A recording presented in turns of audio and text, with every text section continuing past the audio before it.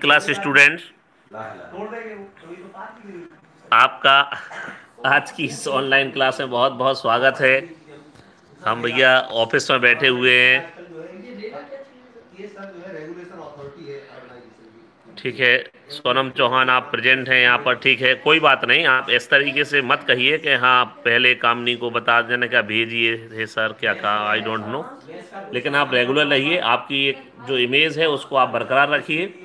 ठीक है? और आप रेगुलर रहिए क्योंकि ये इशू आप दो के साथ अधिकतर आता है, देखिए। मैं भी कह रहा हूँ, अधिकतर अंशिका और अब ठीक है, आप लोग रेगुलर रहेंगे तो कोई प्रॉब्लम नहीं होगी। फ़िलहाल अभी हम लोग इस पर डिस्कशन ना करते हुए अपना जो पढ़ाई की बात करना है, हम उस पर जाते हैं।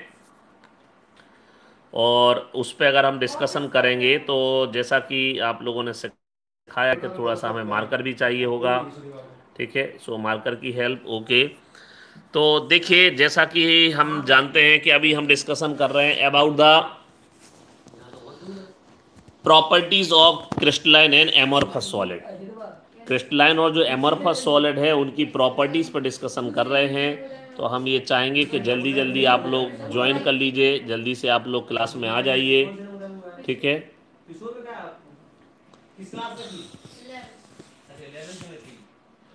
तो अब आप जल्दी से जुड़ जाएँगे। अभी तक नौ लोग जुड़े हुए हैं केवल। नवदीप अनुराग दुबे इनको थोड़ा सा आ, ये मैसेज डाल दो जल्दी से यूट्यूब लिंक डाल दीजिए जिससे कि सभी लोग जुड़ जाएँ। ठीक है थोड़ा सा सिग्नल का इशू आ रहा है आज बीकर में लेकिन हमारे अमित भाई और सोनी जी के सहयोग से हम आपको क्लास ले पा रहे हैं और ऑफ़िस ऑफ़िस में है तो उसमें थोड़ा सा नेटवर्क की समस्या का समाधान हमारा करा पाए हैं। ये दोनों हमारे भाई लोग, सोनी जी और अमित भाई। तो गुड आफ्टरनून आप सभी को।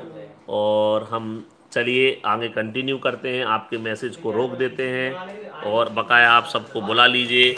और हम इसको अगर अपने आप को इधर ले जाते हैं और अब इसको कर लेते हैं। आप, बिल्कुल आपने हमें सही सलाह दी थी। देखिए, इसमें पूरा पेज आ जाता है। अच्छी बात है। तो देखिए जैसा कि हम लोग डिस्कशन कर चुके हैं about the crystalline solid as well as the amorphous solid फिर हमने इसके बाद यहाँ पढ़ लिया था आइसोट्रॉपिक नेचर और एनाइसोट्रॉपिक नेचर अब हमें जो डिस्कशन करना था, वो डिस्कशन हमारा यहाँ होना था।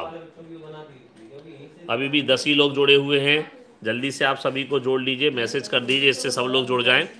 तो अभी हम कर रहे हैं distinction between crystalline and amorphous solid जो क्रिस्टलाइन और एमरफस सॉलिड है, उनके बीच में डिस्टिंक्शन कर रहे हैं, उनके बीच में विभेद कर रहे हैं, उनके बीच में अंतर पड़ रहे हैं हम। तो देखिए, जैसा कि कहा गया, एक तो सेप की बात कर रहे हैं। तो लिखा है डेफिनेट करेक्टरिस्टिक जियोमेट्रिकल सेप और इसमें है इरेगुलर सेप हम जानते हैं, जो क्रिस्टलाइन सॉलिड हैं, उनका जो सेप है, वो डेफिनेट करेक्टरिस्टिक ज्योमेट्रिकल सेप होता है। और अगर हम एमोरफस की बात करते हैं तो एमोरफस जो है, वो इरेगुलर शेप के होते हैं। बात करेंगे मेल्टिंग पॉइंट को तो देखिए जो हमारे क्रिस्टलाइन सॉलिड हैं, उनका एक शार्प मेल्टिंग पॉइंट होता है।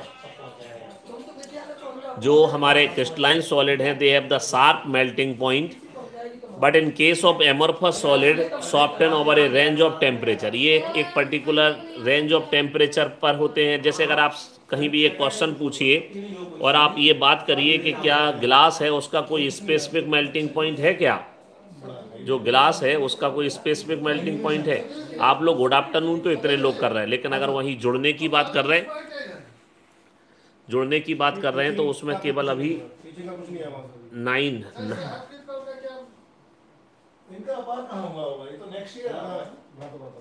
तो अभी दस लोग जुड़े हुए हैं ठीक है आप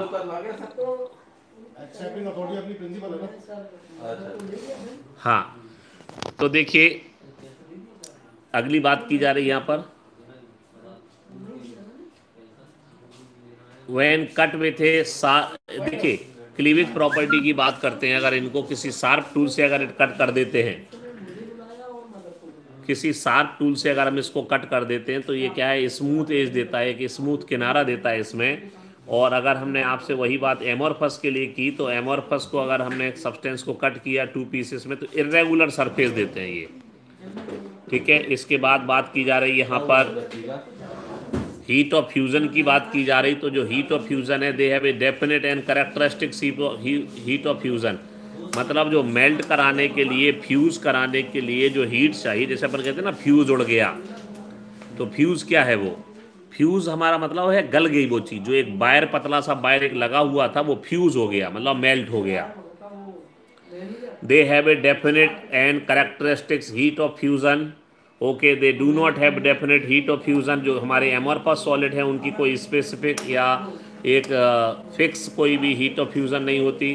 एनाइसोट्रॉपिक में के बेस पे अगर हम डिफ्रेंशिएट करें तो जो क्रिस्टलाइन सॉलिड है वो एनाइसोट्रॉपिक होते हैं और वहीं आपके एमोरफस हैं वो आइसोट्रॉपिक होते हैं। इस पर डिटेल डिस्कशन हो चुका है। नेचर एक्चुअल में जो क्रिस्टलाइन सॉलिड है उन्हें ट्रू सॉलिड कहा जाता है, रियल सॉलिड कहा जाता है। लेकिन अगर हम अगर हम एमोरफस की बात करें तो उन्हें सीडो सॉलिड कहा जाता है या फिर इन्हें सुपर कूल्ड लिक्विड कहते हैं। सुपर कूल्ड लिक्विड कहते हैं यानी सीडो सॉलिड कहा जाता है। और बात अगर अरेंजमेंट की की जाती है तो जो क्रिस्टलाइन सॉलिड हैं they have the long range order जो क्रिस्टलाइन है, उनका लॉन्ग रेंज ऑर्डर होता है और जो एमोरफस होते हैं, वो शॉर्ट रेंज ऑर्डर होता है। लॉन्ग रेंज से तात्पर्य यह है कि जब हम क्रिस्टलाइन सॉलिड को कंटिन्यू देखते हैं क्रिस्टलाइन सॉलिड को अगर हम देखते रहते हैं तो क्रिस्टलाइन सॉलिड में होता ये है कि वो पूरे एंटायर द क्रिस्टल एक जैसे दिखाई देते हैं। लेकिन अगर वही बात हम एमोरफस की करते हैं तो वो शॉर्ट रेंज होते हैं। कुछ समय में कुछ देखते हैं, उसके बाद फिर कुछ और दिखने लगते हैं। ठीक है? तो ये हमने डिफ्रेंशिएट करने वाली बात की गई। तो ये आपने डिफ्रेंशिएट करने वाली बात पढ़ ली। अभी हम देखो, सब जो कुछ है वो बुक में जो दिया है लाइन बाई लाइन बुक है आपके सामने। लेकिन अभी केवल सत्रह लोग जुड़े हुए हैं। आप थोड़ा सा गर्ल्स और बॉयज़ आपस में ग्रुप में कमेंट कर दीजिए कि जुड़ जाएँ। सात मिनट की क्लास हो चुकी, सत्रह लोग जुड़ पाए अभी तक। ठीक है? तो जल्दी से सबको जोड़िएगा। चलिए, अगली बात हो जा रही है यहाँ पर कि amorphous solids are use for material amorphous solid हैं, वो यूजफुल मटेरियल हैं, जैसे गिलास है रबर है प्लास्टिक है many day to day life में इनका अपन जानते हैं कि हर क्षेत्र में इनका अपना अपना कहीं ना कहीं उपयोग होता ही है। इसके अलावा amorphous silicon is one of the best photovoltaic material photovoltaic material क्या होते हैं? फोटोवोल्टेक सेल होता है जिसमें कि लाइट गिरने पर उसको वो क्या कर देते हैं? लाइट गिरने पर उसमें वो होता क्या है कि हमारी लाइट एनर्जी को वो इलेक्ट्रिकल एनर्जी में कन्वर्ट कर देते हैं। ठीक है? तो amorphous silicon is one of the best photovoltaic material available for conversion of sunlight into electricity देखिए सनलाइट इनटू इलेक्ट्रिसिटी तो आप देख पा रहे हैं कि इसमें सनलाइट को किसमें कन्वर्ट करने का काम किया आपने?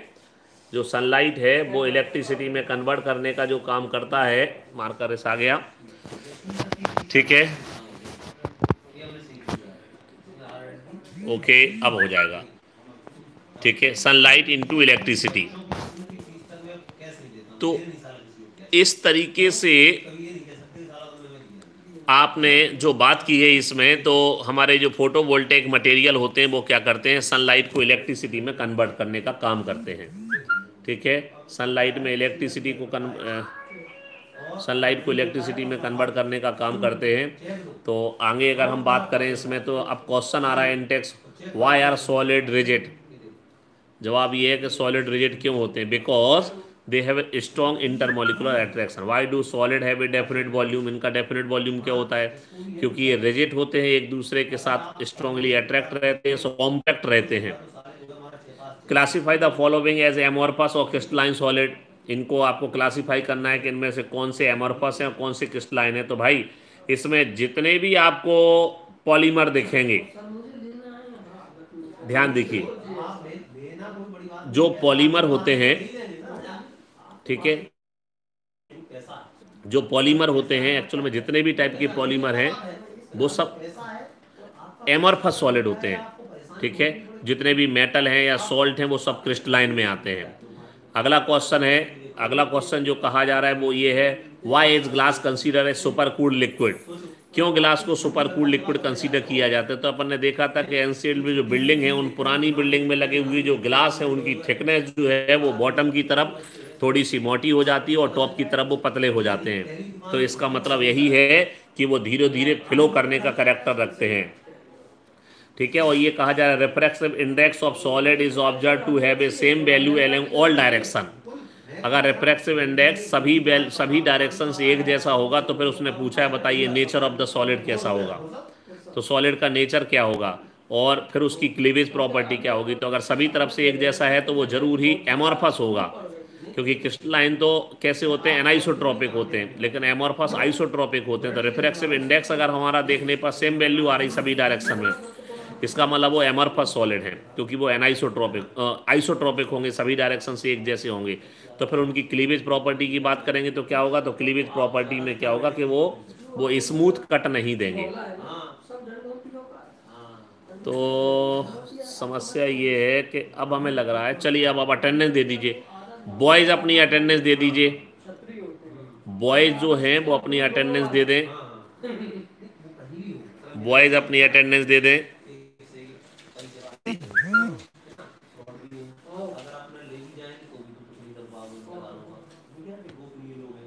तो विशाल रोहित से यहाँ अटेंडेंस शुरू होती है तो विशाल रोहित हैं। विशाल रोहित, दीपक कुशवाहा, अनुराग दुबे, आकाश मोर।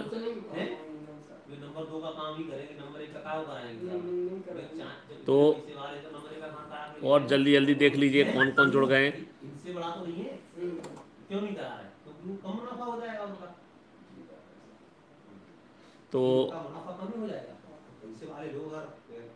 जल्दी जल्दी से आप कमेंट कर दीजिए भाई ग्रुप में। चार लोगों की अटेंडेंस आई है अभी तक केवल। विशाल, दीपक, अनुराग, आकाश, इसके बाद सुनील को सुबह हो गए पाँच में। है ही नहीं तो कमेंट कहाँ से करेंगे हमें लग रहा है। यही स्थिति है। पाँच लोग जुड़े हुए हैं।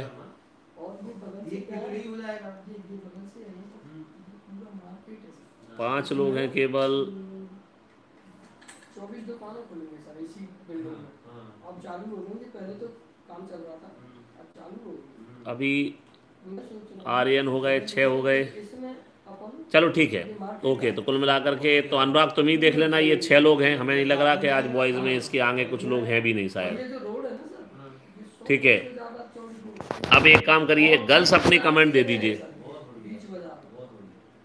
गर्ल्स कमेंट दे दीजिए, गर्ल्स कमेंट कर दीजिए। नवदीप और आ गए, चलो, मैं भी है। चलो, ओके तो अभय गोबरेले आप देख लो। छः की जगह आठ हो गए अब। लेकिन आज एबसेंट बहुत है। आठ बॉयज़ हुए। रागनी यहाँ से गर्ल्स की शुरू हो गई। रागनी, ओके, वेदिका, नंबर दो। रागनी, वेदिका, ओके। कविता, अंशिका, साक्षी, काजल, सोनम, कामनी, हिमानी, मुस्कान, दस गर्ल्स हो गई हैं। बस तो इसलिए बस दस वो गए और आठ नौ। खुशबू नौ दस ग्यारह और अनामिका बारह बारह गर्ल्स हो गई और छः सात बस वो थे। बराबर है बॉयज़ नहीं है आज प्रेजेंट ठीक है और देखते हैं और कोई गर्ल्स में आना है।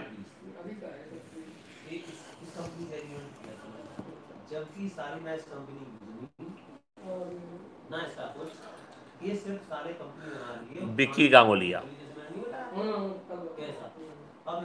अब देखिए।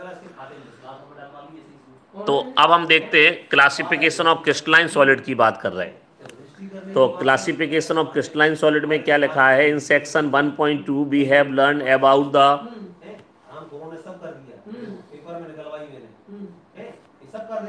about amorphous substances and that they have only short range order ठीक है? तो जो हमारे एमोरफस सॉलिड है, उनकी शॉर्ट रेंज ऑर्डर होती है। However most of the solid substances are crystalline in nature जबकि हमारे नेचर में मैक्सिमम जो है, वो किस तरीके से है? क्रिस्टलाइन है। ये और देख लेना भैया जी बाद बाद में जुड़ रहे हैं। इनको भी देख लेना, जैसे तैसे कमेंट कर रहे हैं। ठीक है, हो सकता है किसी के यहाँ नेटवर्क समस्या भी आ रही हो। मानसी कुशवा भी हो गई। गर्ल्स तो हमें लग रहा है कि लगभग एक आध को छोड़ के सभी जुड़ चुकी हैं। ठीक है? तो देखिए इसमें क्या लिखा हुआ है?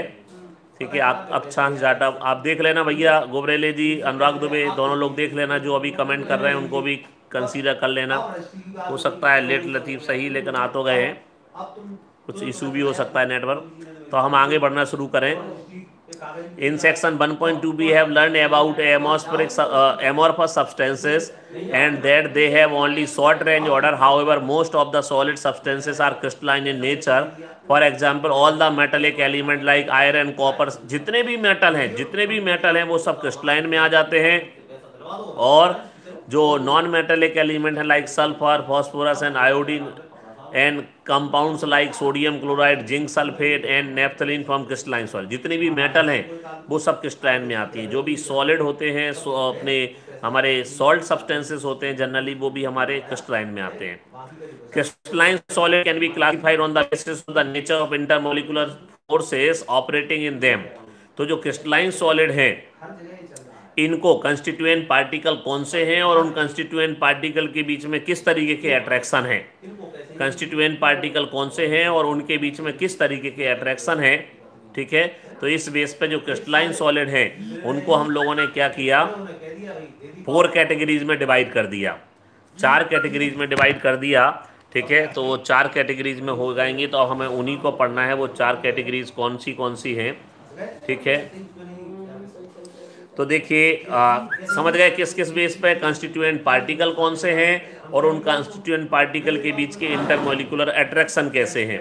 तो इसी की बेस पर ये डिपेंड करेगा कि हमारे क्रिस्टलाइन सॉलिड किस तरीके के होते हैं। तो अब इनके बारे में पढ़ना है तो सबसे पहले पढ़ रहे हैं हम लोग कौन सा? मॉलिकुलर सॉलिड सो दो सॉलिड सब्सटेंस और दो crystalline solid in which the constituent particles are molecules and they attract to each other with the help of weak van der Waals interaction कि जो कंस्टिट्यूएंट पार्टिकल हैं वो molecule होंगे और उनके बीच में वीक वॉन्डर वॉल्स इंटरेक्शन पाया जाएगा। सो so, लिखा हुआ है molecules are the constituent particle of molecular solid they are they are further subdivided into the following categories ठीक है? They are further divided subdivided into the following category तो इन्हें फिर से डिफरेंट कैटेगरीज में क्लासिफाइड किया जा सकता है। आप लोग थोड़ा सा इसको ध्यान दीजिएगा और आप ठीक है। तो क्या लिखा हुआ है? Molecular solids are the molecules are the constituent particle of molecular solid they are the further subdivided in the following category तो किस किसमें? एक तो है नॉन पोलर सॉलिड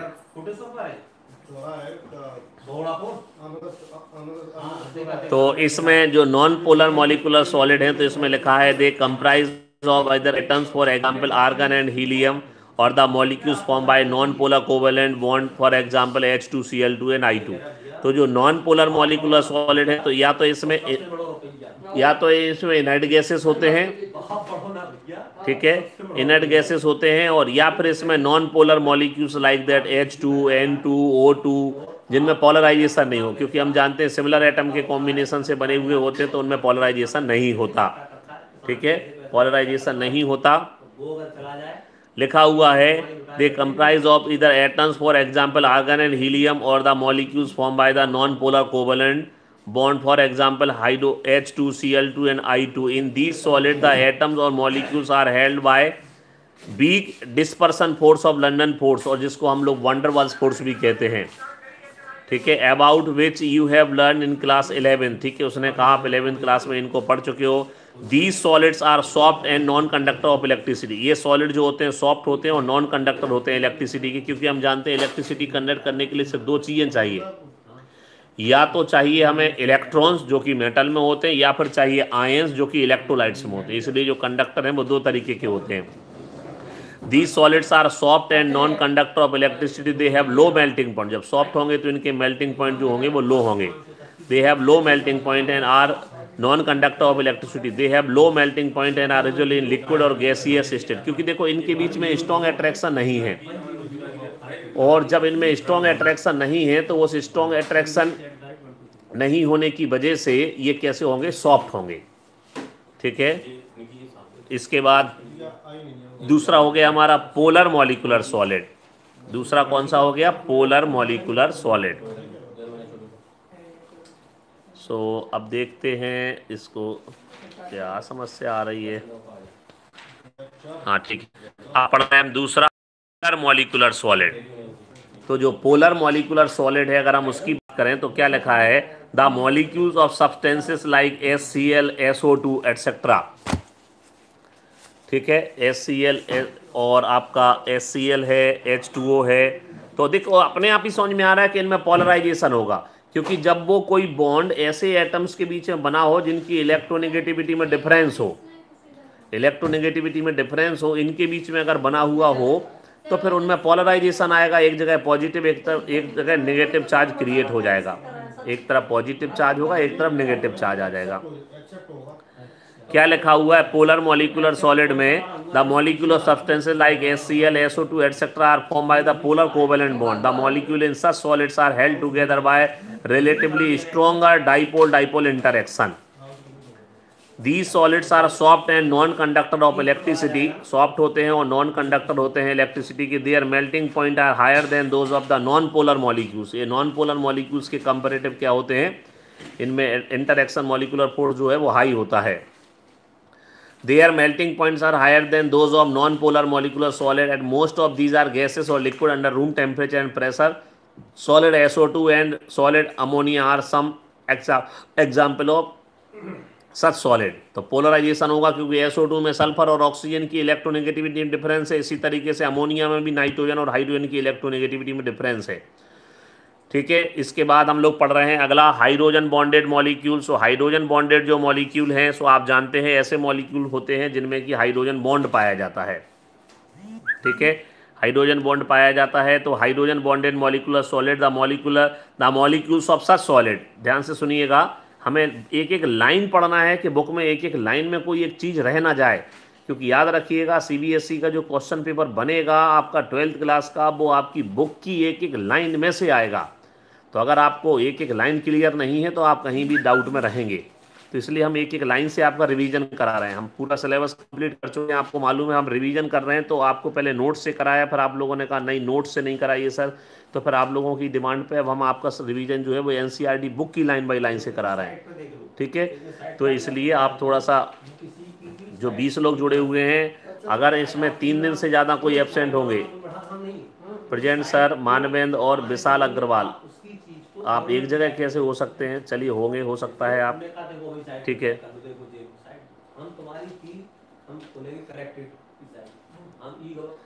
हाँ अभी बाद तो इसके बाद देखिए, जैसा कहा गया hydrogen bonded molecular solid the molecules of such solids contain polar covalent bond जैसे कि हम जानते हैं कि हाइड्रोजन बॉन्ड किसमें बनता है? फ़ोन एलिमेंट होना चाहिए। हाइड्रोजन के साथ में ऑक्सीजन फ्लोरीन और नाइट्रोजन होगा। तब तो जाकर के उसके बीच में हाइड्रोजन बॉन्ड बनते हैं।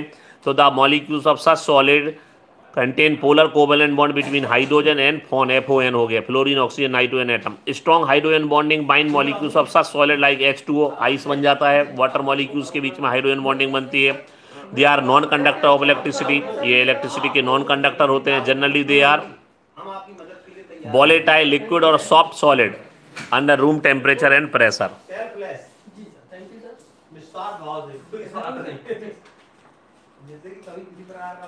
चलिए।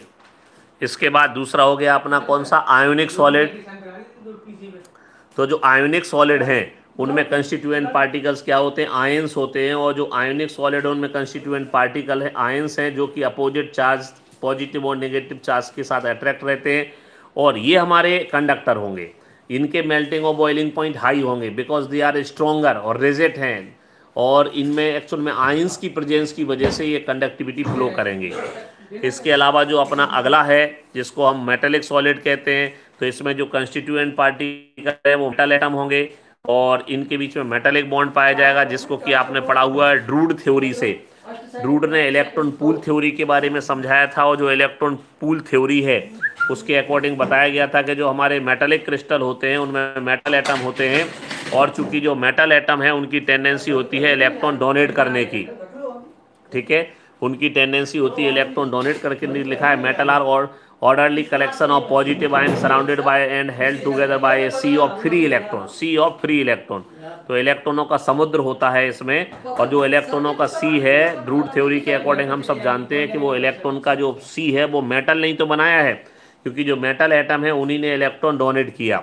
So matter orderly collection of positive ion surrounded by and held together by a sea of free electron these electrons are mobile and are are evenly spread out throughout the crystal each metal atom contributes one or more electron सभी metal atom क्या होते हैं? एक से या एक से ज़्यादा इलेक्ट्रॉन डोनेट करते हैं, जिससे उन पर पॉजिटिव चार्ज कैरी हो जाता है। और जब मेटल एटम पे पॉजिटिव चार्ज हो जाता है और उन्हीं से निकले हुए जो इलेक्ट्रॉन्स हैं वो निगेटिवली चार्ज होते हैं। सो निगेटिवली चार्ज इलेक्ट्रॉन का पॉजिटिवली चार्ज मेटल एटम के साथ में अट्रैक्शन होता है और ऐसे अट्रैक्शन को मेटलिक अट्रैक्शन और ऐसे क्रिस्टल को मेटलिक क्रिस्टल कहा जाता है। ठीक है? सो so, ये क्या होते हैं हमारे कि इनमें इनमें ये रिजेक्ट होते हैं और ये कंडक्टिविटी फ्लो करते हैं due to the presence of due to the presence of free ions इसका जो फोर और लास्ट हम लोग क्लासिफिकेशन पढ़ रहे हैं, वो ये है कोवेलेंट और नेटवर्क सॉलिड ठीक है? कोवेलेंट और जो नेटवर्क सॉलिड है, उसमें क्या है कि क्रिस्टलाइन सॉलिड जो होते हैं, ठीक है? वो नॉन मेटल जो रहते हैं, उनके बीच में हम जानते हैं कि इलेक्ट्रॉन की शेयरिंग होती है। और जब इलेक्ट्रॉन की शेयरिंग होती है तो शेयरिंग से जो कोवलेंट मॉलिक्यूल बनते हैं और वो जेंट मॉलिक्यूल कहलाते हैं, क्योंकि ये साइज़ में बहुत बड़े होते हैं। ये क्वेश्चन आ जाता है कि जेंट मॉलिक्यूल किसे कहते हैं? तो चूँकि ये साइज़ में बड़े होते हैं देख रहे पा रहे हो जैसे आप ग्रेफाइड और डायमंड आपके सामने हैं तो ये साइज़ में बड़े होते हैं, इसलिए जेंट मॉलिक्यूल कहा जाता है। Covalent bonds are strong and directional in nature covalent bond strong होता है और डायरेक्शनल होता है, इसलिए ऐसे मॉलिक्यूल का एक स्पेसिफिक जियोमेट्री आ जाती है। ठीक है? जैसे कि सिलिकॉन कार्बाइड आपको बताया जा रहा है। ठीक है? डायमंड ग्रेफाइट अब इसमें एक्सेप्शनल केस होता है। वैसे तो ये इंसुलेटर होते हैं, लेकिन अगर हम ग्रेफाइट की बात करें तो ये इलेक्ट्रिसिटी फ्लो करते हैं, क्योंकि ग्रेफाइट के कार्बन में एक एक इलेक्ट्रॉन क्या रहता है? फ्री रहता है मूविंग इलेक्ट्रॉन रहता है, इसलिए ग्रेफाइट जो है वो करंट फ्लो करता है। यहीं पर एक क्वेश्चन और बन जाता है कि जो डायमंड है वो क्यों रेजेट होता है और क्यों हार्ड होता है? तो डायमंड इसलिए रेजेट और हार्ड होता है, क्योंकि डायमंड में जो कार्बन कार्बन है वो टेट्रा बैलेंसी शो करता है और एक कार्बन अगले कार्बन से जुड़ जाता है और ये जैसा कि आप देख पा रहे हो, इस तरीके से ये जेंट मॉलिक्यूल बना लेता है और मैक्रो मतलब लार्ज मॉलिक्यूल का, मैक्रो मॉलिक्यूल्स का फॉर्मेशन कर लेता है और इस प्रकार से डायमंड तो इंसुलेटर होता है क्योंकि इसमें कोई भी फ्री इलेक्ट्रॉन नहीं होता, लेकिन अगर वहीं बात ग्रेफाइट की की जाए तो ग्रेफाइट के कार्बन में एक फ्री इलेक्ट्रॉन रह जाता है। क्योंकि हमको मालूम है कि जो ग्रेफाइट है उसके कार्बन में एस हाइब्रिडाइजेशन होता है और वहीं डायमंड की बात करें तो उसके कार्बन में एस हाइब्रिडाइजेशन होता है, इसलिए इसमें कोई भी जो हमारा डायमंड है उसमें कोई भी फ्री इलेक्ट्रॉन नहीं रहता, अगर फ्री इलेक्ट्रॉन नहीं रहता तो इसकी वजह से ये इलेक्ट्रिसिटी फ्लो नहीं कर पाते। तो ये अभी हमने आपके इसके चार जो क्लासिफिकेशन है, वो पढ़ लिए। अब यहाँ आप कंपेयर करिए कंपेरेटिव स्टडी है, जो हम लोगों ने पढ़ा वही होगा, ठीक है? इस पर हम लोग चर्चा कल करेंगे। आप लोग, कम लोग जुड़े हैं, आज किसी कारण से हो सकता है तो आप लोग अपना ध्यान रखिए। कोविड से सर थर्टीन गर्ल्स प्रेजेंट है। मोबाइल इलेक्ट्रॉन किसे कहते हैं? मूविंग इलेक्ट्रॉन जो गतिशील होते हैं। जो मूव करते हैं, एक से दूसरी जगह जो जाते हैं, ठीक है? तो उनको मूविंग इलेक्ट्रॉन्स कहा जाता है। जब एक से दूसरी जगह जाते हैं तो उनको मूविंग इलेक्ट्रॉन्स कहा जाता है। तो इनमें मूविंग इलेक्ट्रॉन पाए जाते हैं। ग्रेफाइट में एक फ्री इलेक्ट्रॉन पाया जाता है, जो कि बॉन्ड नहीं बना रहा है फ्री है। मूवमेंट करने के लिए फ्री है। उसको मूविंग इलेक्ट्रॉन कहा जाता है। चलिए, आप जितने लोगों ने सुना, आप सभी का धन्यवाद। आप एन बुक को और देखते रहिएगा। कोविड से अपने आप को बचाइए, ठीक है? शासन के नियमों का पालन करिए और इसके साथ साथ हार्डवर्क करिए, ठीक है? जय माई की जय हिंद।